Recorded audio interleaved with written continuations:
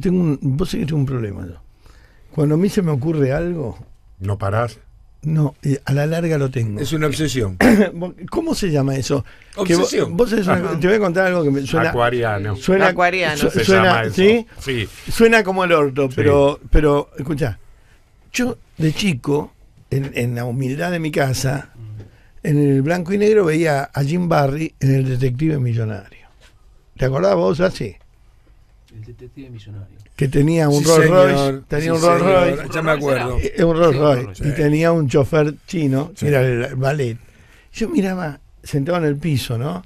El televisor Well Garder, que había sacado mi hijo en un canje con Rodinio. Vendía televisor, era ciego. Estaba ahí, saca- mirá, en serio. Eh, era ciego y tenía una casa de artículos electrodomésticos, vendía televisor. Y decía, llévate este que se ve bárbaro. Bueno, y te juro, en serio.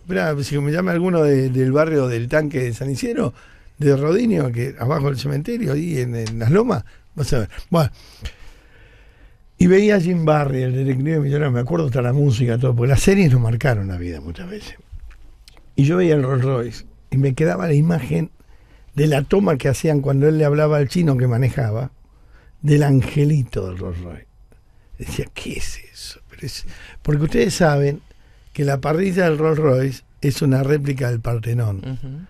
Y el, el ángel es todo, tiene todo, es muy griego, es una locura. Y para mucha gente, el Rolls Royce, y no lo tomen como un cachetazo a la pobreza, tómenlo como que se puede llegar. Porque acá todo te lo interpreta. Vos que hablás del Rolls Royce, vos que hablás, eh, salete, facho. No, no sean resentiditos de la tirita de asado. Todo se puede conseguir en la vida. Hay que enseñar a los chicos que por derecha podés conseguir todo. Entonces yo con decía, un día voy a tener uno. Un día voy a tener uno. Y en la vida, por esos avatares, después me entero que el nono Pugliese tenía un Rolls Royce. Qué lindo. El primero había sido el Pato Echenique, un amigo mío que yo adoro, un señor, un caballero.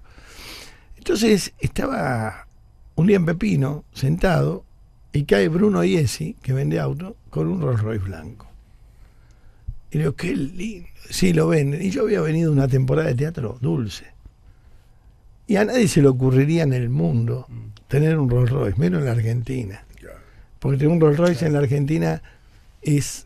Te da culpa. eh, No, no, es, es claro. es un- Claro. este es un país de, este es un país de- de Claro. miserables, ¿viste? Todo levantás Pero la no, cabeza y- No miserables de plata. No. Miserables de auto estándar para que no te vean. Nivelemos ¿viste? para abajo. Nivelemos para abajo, ¿no? ¿Viste? Sí. ¿Qué, A ¿Cuánta ver si se tenés? piensan que tengo plata y Claro, me vienen claro. a afanar. Tengo, tengo 10 mil millones de dólares, pero ando en este auto de mierda Sí, para que no se que me- entere. Y a mí, la verdad, no tengo 10 mil millones de dólares, no tengo ni un millón de dólares, no tengo dólares, pero me gusta vivir bien. Lo poco que tengo, sé que todo es transitorio, que mañana me puedo llegar a morir y lo tengo que vivir ahora. ¿Cuánto querés, Bruno? Tanto. Bueno, me lo compré. Y tuve el Rolls Royce que era de Claudia Sánchez, era el mismo. Un día vino Claudia Sánchez a mi programa a la C5N y cuando se va le digo, tengo un auto preparado que te va a llevar. Y dice, ah, gracias, me pediste un remis, sí. Salió y estaba Rolls en la puerta y se puso a llorar.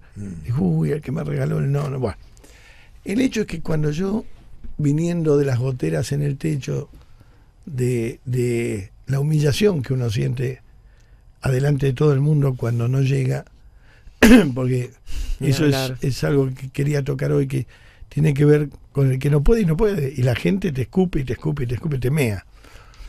Cuando me senté atrás del ángel, y el ángel era mío, que es lo que le dije una vez a un amigo, digo, vos no sabés lo que es tener el ángel en la trompa.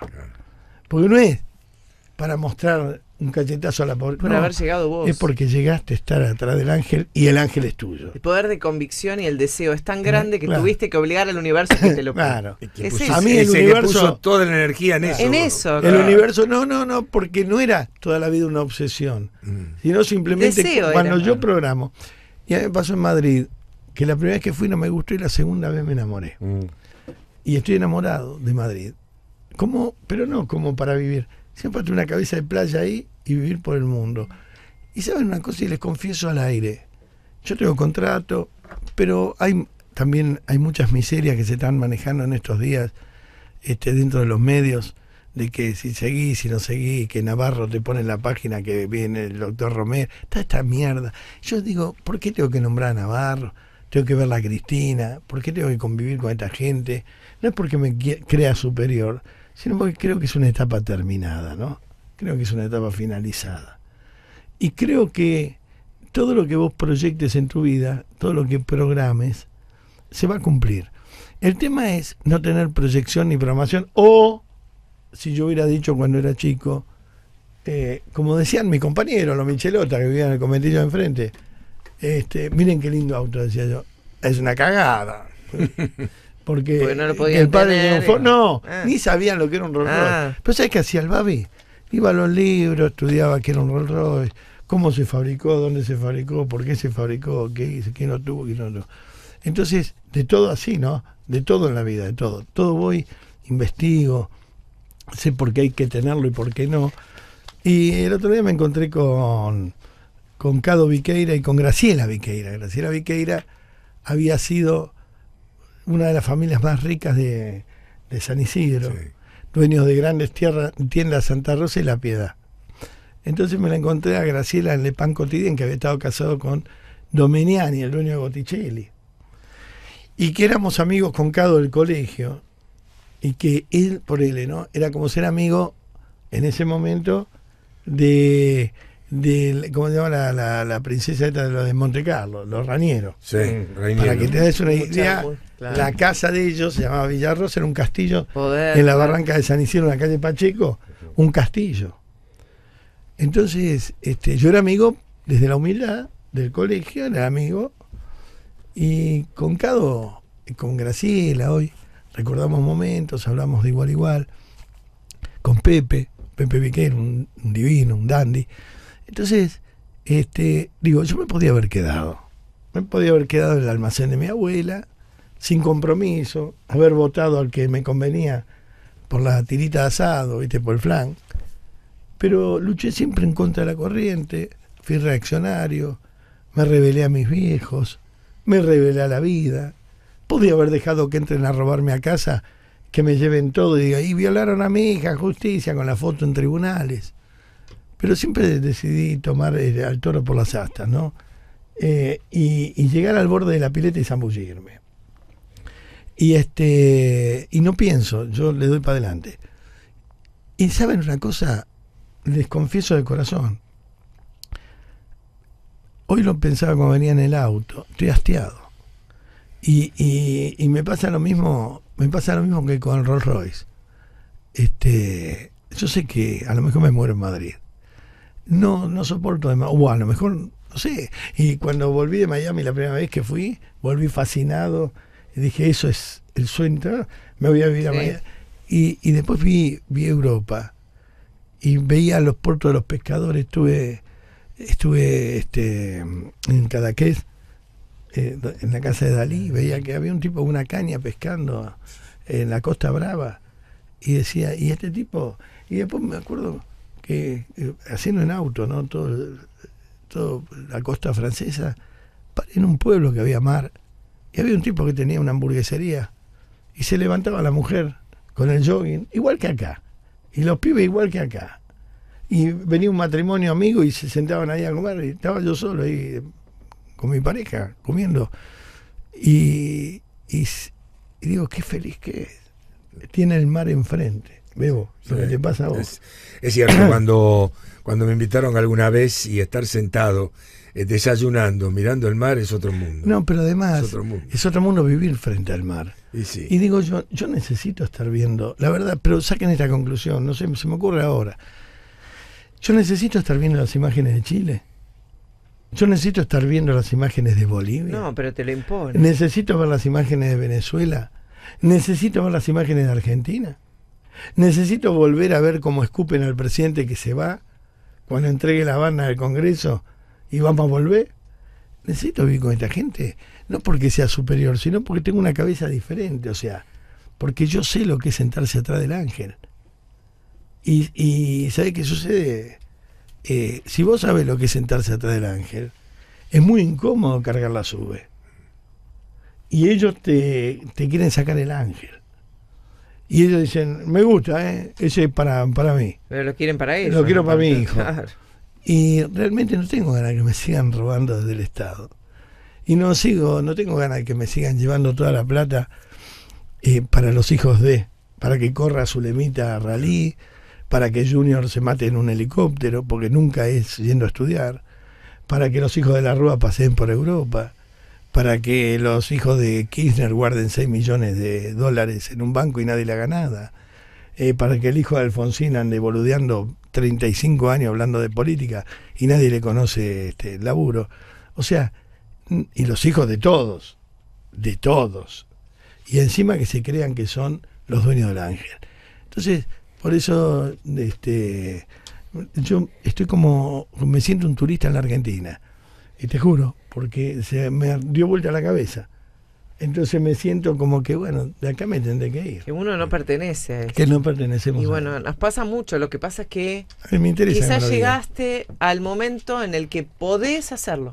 En No, la no edad. puedo. No, pero digo, No, y no bueno, así como llegaste al No, ángel, no es que lo puedo, lo tengo que Lo hacer. tenés que hacer Cuando por yo vos. llegué al ángel, era el momento. no, podía haberme comprado algo estándar Bueno, que ande pero, bien. pero porque- decidiste. pero decidí. Tuviste opción. Yo creo que hay que buscar el camino difícil. Es que a lo mejor, eh, por eso te digo, cuando uno dice, bueno, sí, uno se siente extranjero en su propia casa o en su propia tierra, es el momento de empezar a buscar un ángel para ir adelante. Capaz O no, sea, tiene- no pasa por la billetera, me no, parece pero que parece pasa por el proyecto. por acá Por arriba ya estás proyecto. preparado para Pero hay eso. gente que dice, no, no, no, no, jamás lo voy a lograr, listo, ya te hiciste No es, no es de- no, lo digo porque la gente entiende todo mal. No es ya, ¿eh? Bueno, no, no, de claro. acá, dos Hizo un años, proyecto cinco dos- años, dos bueno, años, dos dos años. años. Pero, Pero- la gente que dice directamente y se autocensura y dice, no, no cuando, es para mí. cuando a mí me decían los. los- Totalmente. Cuando me decían los K acá, este, no te vas a ir ahora andate el pasaporte. Digo, no te quepa duda que ya me fui.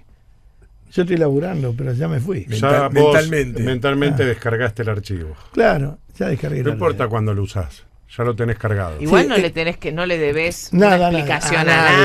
nadie. Pero no, pero lo que es terrible es cuando ya no te importa. Vos sabés que hoy me decía Agustín Rodríguez, venía hablando y dice, ¿viste lo que dijo Albert? No, no me importa. No, claro. Agustín".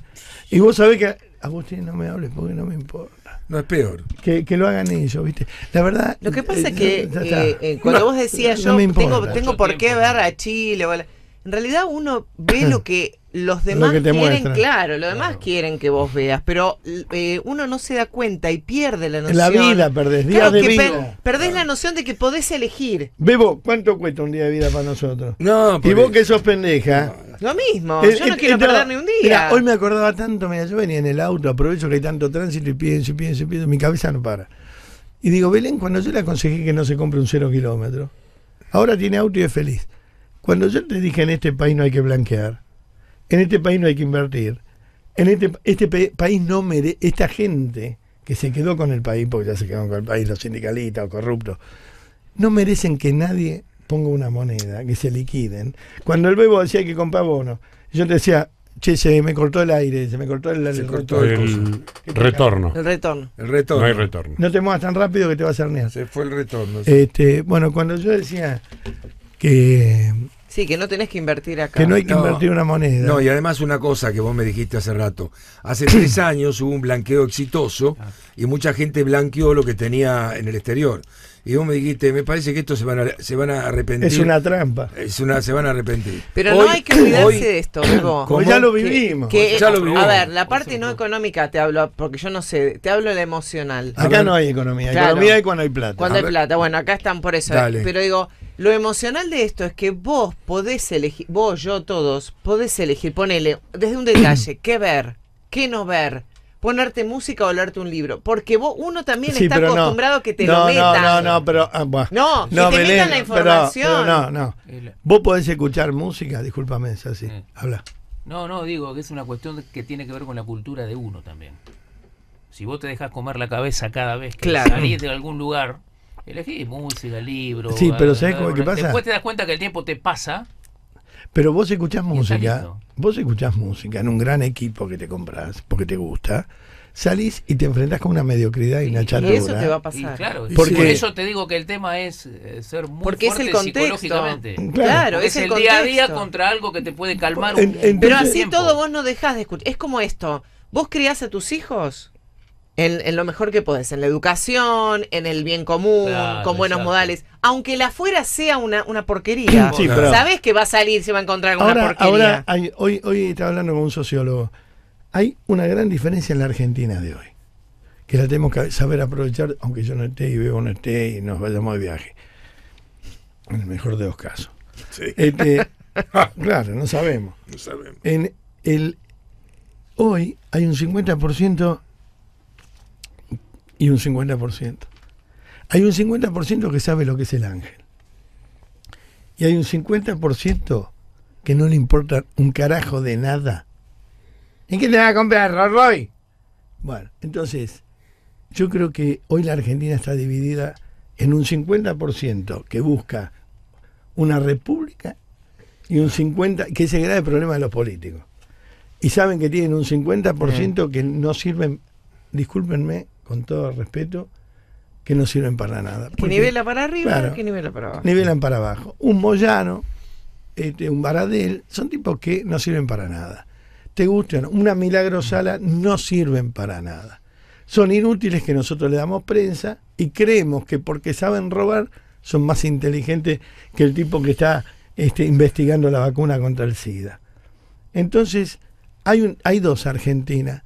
Yo sería de la idea de dividirla y vivir los que queremos una república con un presidente de un lado y los que quieren seguir robando No o se ofenden porque le decís ladrones o te dicen decirle a ese que se calle la boca del otro.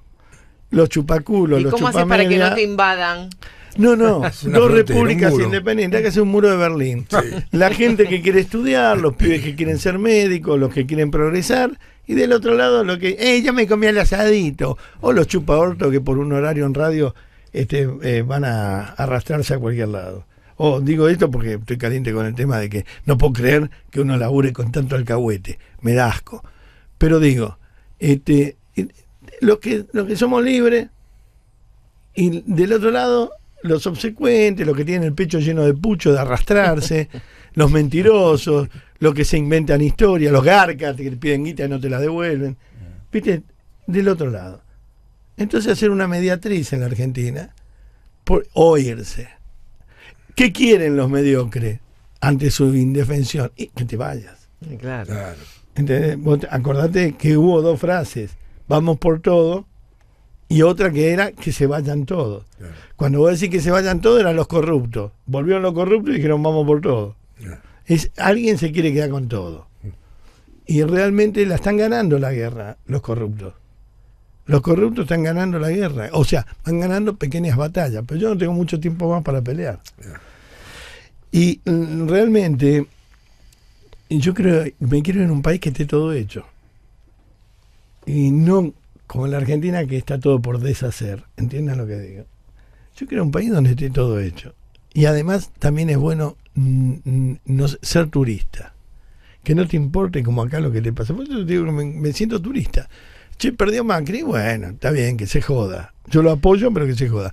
Ganó Alberto, y bueno, que se joda. Yo sé que se le viene el tiempo difícil y que se joda. Está Claro. bueno, porque no esperas nada, nada te sorprende. Y está bueno también a veces. Y eso. sabés que está bueno también que pasó que hoy los que pensaban que el populismo le va a dar de comer van a dejar las falanges adentro de los autos de colgarse de los vidrios porque hoy la gente no los va a ayudar.